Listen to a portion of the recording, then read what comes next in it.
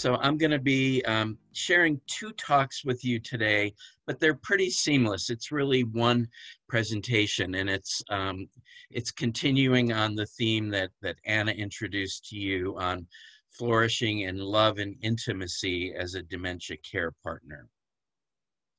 So here is a picture of my family in November of 2012. So on the left, you see uh, Rebecca and I. Uh, these are our three daughters uh, in the middle. Um, and uh, there you see grandson number one. Uh, we have another one uh, now, and all the way on, on your right is my, my son-in-law, Darren. Um, so today is an interesting day because 44 years ago today, I asked Rebecca out on our, um, our first date. So it was one week before my 18th, uh, before my 19th birthday. So I was still 18. Um, and we were sophomores at the University of Iowa. And, um, and it was a late afternoon. I knew she always uh, studied in the student union, drank coffee. And uh, I got up the courage. I went to the student union hoping she would be there. She was. Uh, she was there studying and drinking coffee, and I got up the courage to um, to ask her out on a date. And our first date was a week later um, on my 19th birthday. She was a couple of years older than me. And it was one of those sort of love at first sight romances. Um, we went out on that first date, and three weeks later, I don't know how many dates we had been on, but we decided that we were going to get married and we wanted to have three daughters, which you can see that all worked out really well, um, and uh, and have a wonderful life together. And so um, we didn't actually get married for for four years. So we finished college. Uh, by that time, I had gotten into medical school. Uh, Rebecca uh, went to um, University of Iowa's master's program in speech pathology. Uh, she was a, a, high IQ lady, kind of the brains of the family, and uh, her career was as a speech pathologist for part of her career helping children uh, in the public school system, and part of her career in private practice helping um, uh, people who had experienced a stroke uh, or uh, head trauma help them with uh, speech and language rehabilitation. So she's a very, very bright lady and very organized uh, mother. So um, my practice in medicine was as a brain tumor doctor. In fact, um, this is my second time speaking for Barrow Neurological Institute. My first time was as a brain tumor doctor. Um, I practiced at the Mayo Clinic for a number of years before I moved to Wake Forest. Um, and um, and had a, a, a, wonderful career treating uh, both adults and children with brain tumors. And my research uh, area was in cognitive function in cancer patients and cancer survivors. So uh, I've had a fascination with the human brain um, for my entire professional career and did research understanding uh, sort of the issues of thinking and memory that, that Anna spoke of, but in people who had brain tumors uh, or who were cancer survivors. So in 2007, as um, Debbie mentioned, that was the year Rebecca was diagnosed. Um, so it was about five years before um, this picture was taken. And Rebecca and I were sitting at the kitchen table, and she was reading uh, U.S. News and World Report, the old uh, print version of that um, that periodical. And she looked at me and she said, "I have read an article in here three times, and I can't remember a thing. Nothing will stick." And that is not normal for a high IQ person who's only 53 years old. So, doc, uh, so Anna mentioned uh, anomia, forgetting names of things. So once we hit our 50s, it's normal in sort of the aging process of our brain that we forget people's names. But it's not normal, as, as she showed that very uh, beautiful uh, uh, YouTube segment of the woman who was laying with her mother. It's not normal for a mother to forget the names of her children or her grandchildren. And it's not normal for somebody to not be able to retain the facts from something that they've just read. So that, that kind of um, symptom for somebody who had spent their career working in cognitive function, I knew that wasn't normal. And in some ways, when Rebecca said that to me with kind of a look of panic in her in her eyes, I knew that we had become we had begun the journey. Um, she was eventually diagnosed um, with early onset Alzheimer's disease, and she was the person who shouldn't have gotten the disease. Uh, she was young. Uh, her mother is um, still alive. She lives here in Winston-Salem. She's going on 91. She has a completely normal memory and there's no family history of any uh, cognitive or memory disorders. Rebecca was athletic. She was a long distance competitive swimmer in high school. She exercised regularly. She ate well. Um, again, she was the person who should not have gotten Alzheimer's disease, but she did. And at the time, our, our girls um, were 18, 20, and 22 uh, uh, back in 2007 when she was diagnosed. So fast forward to this picture in 2012. At this point in the journey, she already was in the middle stages of her disease.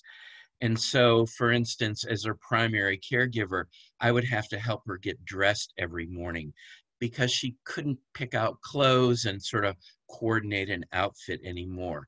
And as you look at her, you know, she, look, she didn't have a, a gray hair on her head at the age of, of uh, 58, which is how old she is here.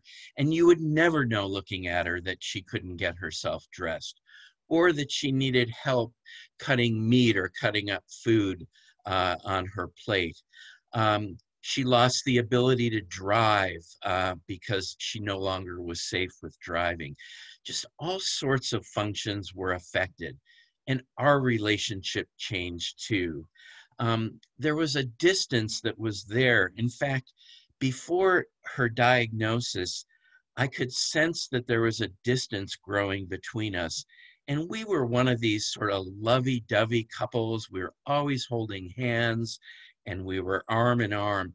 And that changed. Um, she didn't seem to be as interested. I knew there was nobody else that had come into her life. We were we were very committed and faithful to one another in, in marriage but just she was different and it felt different to me and i, I remember um, trying to seek the advice of a, a counselor about that because I, didn't know what what had happened so um, so i want to uh, take you to a day um, about six months after the, the photo that I just showed you. I call it the terrible day. I think it was of the nine years that, that Rebecca lived with her Alzheimer's disease, I call it the worst day of the journey. So let me tell you the story. Um, she and I, uh, every morning we would get up uh, and have coffee together on, uh, we had a covered porch behind our house and we lived with woods surrounding us. We enjoyed the birds and nature and um, and so um, I would bring uh, I would bring Rebecca out to the porch and and get her situated, and then I would bring out uh, a cup of coffee for her uh, and for me. So I had I brought her out, got her situated, and um, I put her coffee down by her, and I went back in the house to get the the cream. And when I came back, uh, I was pouring the cream and she looked up at me and the sun happened to be the morning sun was shining in her in her hair and i said to her I said sweetie uh, your hair looks so beautiful this morning uh, with the sun shining in it. And she looked up at me and she had this very blank expression on her face. And she looked at me and she said i have no idea who you are so that was a is a very emotional moment. Uh, it it brings up a lot of emotion, even um, uh, eight years, almost eight years later, telling you that story.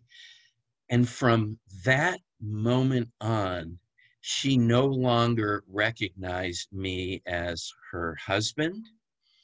She didn't recognize uh, our three daughters as her children. As best we could tell, she had lost a slice of history going back to her middle school years when she was a child growing up in Cedar Rapids, Iowa. And um, even to this day, even with all of my training in medicine and mental health, I still really don't understand what had happened from the night before when we talked about the kids and our life and uh, shared memories to that morning when it just it, it went away i still don't understand that so um, the challenge that really came to the girls and I at that point was how were we going to keep the love alive in our family? We had a very close knit family. We shared a lot of love in our family. Um, uh, it was kind of the family motto of we had this uh, this sort of saying uh, called KR. In the KR, uh, we would flash the um, the the uh, American Sign Language sign for uh, "I love you," which is I don't know if you can see me in your screen, but this is what the "I love you" looks like. It's you have your thumb and your index finger and your pinky out, and we would always say "Kr" or we would match uh, our KR sign, I love you sign, and communicate love to one another. It was just this kind of family thing that we had, and um, and the kids and I wondered how were we going to keep the love alive with Rebecca when she didn't know us anymore. And a lot of things changed in her and us when when she lost recognition. And so um, so now I'm gonna come I'm gonna come back to that, uh, but I want to share with you just some thoughts about love and what is love and what is intimacy. So um, so there there's lots of ways that you can describe love. Uh, one of the things i'm not going to do today but i enjoy doing is talking about the science of love. So believe it or not you can actually identify which parts of the brain love comes from and which chemicals uh, are increased in the brain when you feel love and intimacy. But i'm not going to go through through that discussion today because love is really it's more than just a bunch of chemicals or its parts of the brain so um, so i'm one who loves dictionary definitions. So i'm going to start with well, what does the dictionary say about what love is? So uh, it used to be we would go to, you know, the old Webster's dictionary. Of course, that's not so much in fashion anymore. So we can go to dictionary.com on the computer. And this is what the computer, uh, dictionary.com, this is how they describe what love is. So they one definition of love is it's a profoundly tender, passionate affection that we have for one another. Another definition is it's a feeling of warm personal attachment or deep affection for another. And then the third definition of love it's sexual passion or desire for another. I noticed that one of you um, ha- had asked a, a, question about uh, uh, your partner and your partner wanting to actually have more sexual passion uh, with with that partner being in the the early stages of their dementia. So we're going to talk about uh, sexual passion uh, in the second part of my talk today. Um, I, I was leading a support group uh, last fall, and so the way we do our support groups at Wake Forest, we um, we, we meet uh, as a group of up to 16 people. So this happened to be a couples group. We had eight couples in the group, and they were all couples who had been with their partners, their spouses for many years. And I had a woman, she and her husband had been married for 60 years. And it was our eighth uh, session out of 10 so the group people in the group knew each other like like anna was saying you know support groups are a wonderful way to make connections with others on the journey. So this couple had come in and they were both in their early 80s uh, they had been married in their early 20s 60 years prior and the woman was was sort of the more outgoing of the couple and she uh, looked at my co-facilitator and i and she said okay when are we going to talk about sex? Because you know it's still important and she she shared her husband's name to him and, and to me and we haven't talked about it. And so the very nature of us as human beings are that as part of our love for our partner is that we express that love sexually. We are, by our very nature, sexual beings, and it's important to talk about sex in the context of a relationship affected by dementia. So, how is intimacy different than love? Well, intimacy is a close, familiar, usually affectionate, or loving personal relationship with another. So, again, really similar definition as love, but maybe with a little bit more uh, emphasis on the affectionate connection. An amorously familiar act or expression serving as a token of familiarity, affection, and the like, including sex. So, um, so intimacy is a part of, of uh, a loving relationship. So I can share these, you know, these dictionary definitions of love and intimacy with you, but it doesn't quite really do it, uh, do, do the definitions justice because love is a feeling. And so when we talk about the feeling of love, what we're really talking about is, you know, uh, love in the context of another person, uh, or you can talk about loving yourself. Um, Anna made reference to that a couple of different times, but most often we're talking about it in the context of another person. And it has to do with the history of our relationship with that person over time. And so, one of the exercises I love to do if I was with you in person, what I would do right now at this point in the talk is I would say, think back to the um, the warmest memory or one of the most vivid memories you have as a child. And what most of you will do is you'll talk about a loving moment um, in your family of origin, usually with uh, a parent, um, with a mom or a dad, but could be a sibling. Um, and you'll think about that moment and you'll be able to remember that moment in great detail. Um, and that's because the feeling of love is rooted in um, what I'm going to now describe to you as sort of our attachment bonds that we had that began in our early childhood. So, um, so human beings are hardwired to love and to be intimate. Uh, it is as much of our fiber as it is to want to to eat, for instance, and um, and so the feelings of love, you know, are the um, are things that we have been wired to do from the very beginning of our time. Now, um, when I talk about love, uh, I like to talk about these are my two grandsons, uh, Paul and Isaiah. So I, uh, Paul, the older one, is 10, I think the same age as Anna's uh, younger child. And this is his little brother, Isaiah, uh, who's now five. And they're here uh, with me this weekend.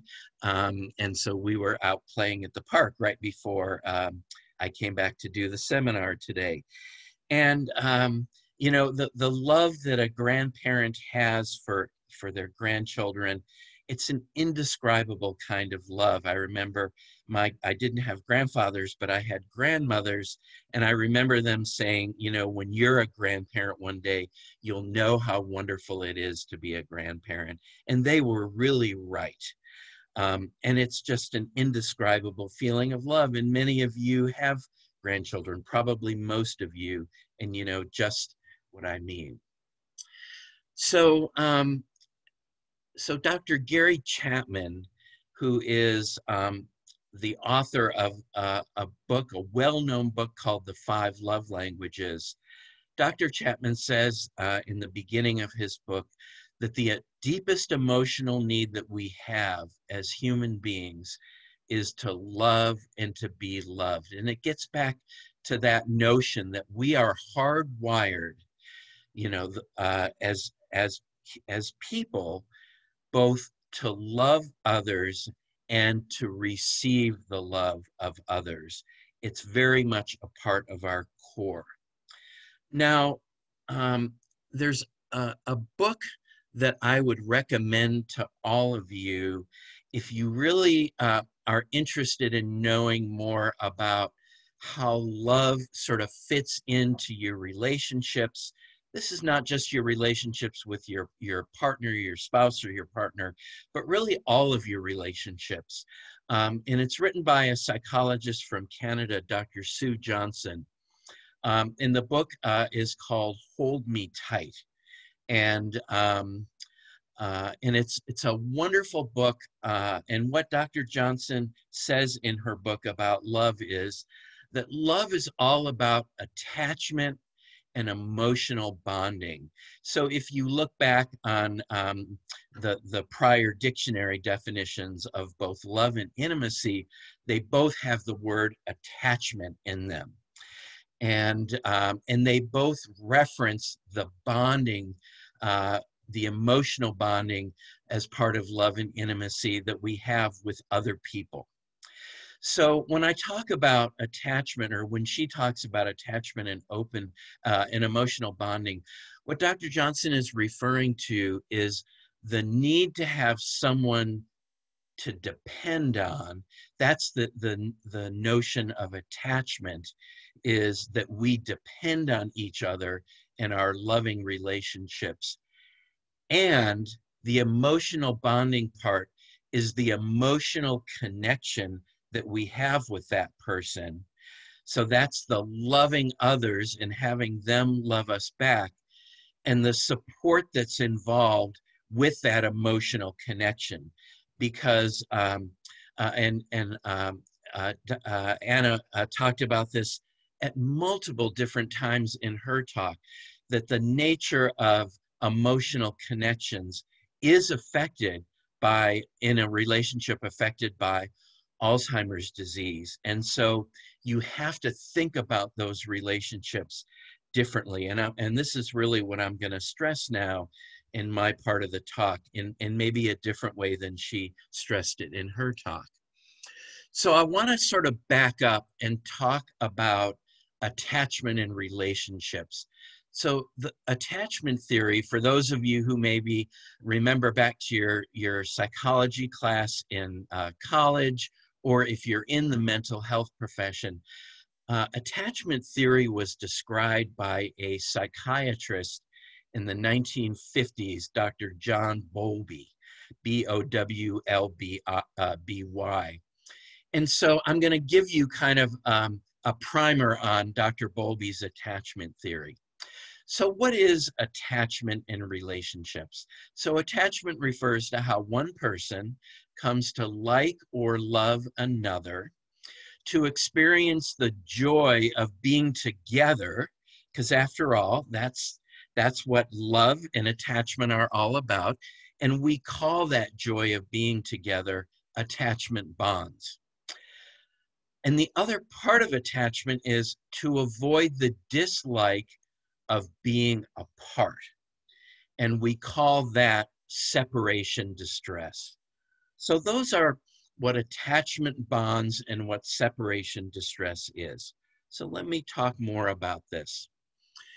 So attachment theory says that our very first attachment is usually to our mother and so here you see a picture of a mom with her infant child. But it's really, it's um, uh, our earliest attachments come with our parental figures. Um, and with, with mother, though, it's in whom we seek nourishment, comfort, safety, and security. And that bond begins to happen really from the moment um, that child first sees uh, their mother, their parents. And so attachment begins right from birth. And so, attachment theory, we talk about a child who is securely attached. So, thankfully, uh, Paul and Isaiah are growing up in a very loving uh, household. They're really securely attached children. And so, securely attached children interact with strangers and they don't feel threatened. They can separate from their parents without feeling anxious. They're able to explore new situations without being fearful. They're confident. They have positive self esteem. You can see it in the face of this child right here and they're socially connected. So they begin, you know, from a very young age to form long lasting attachment bonds throughout life. And so it begins, as I said, with their parents, but then it extends to their siblings and their extended family members. And then they begin to have friends.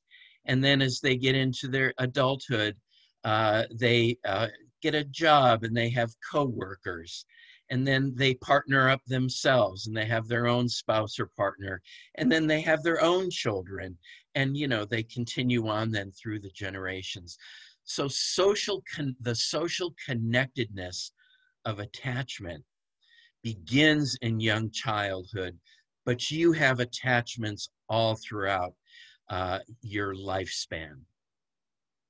Now, one of the most important things that I'm going to say is uh, what I'm going to say right now, and that is that the the disease dementia and the way dementia affects emotional expression, ex- emotional connectivity, is in and of itself uh, a disorder of secure attachment. In other words, people living with dementia become insecurely attached. And I'll show you what that looks like on the next slide. And so, as the person with dementia, as they continue through their journey with dementia, they become insecurely attached.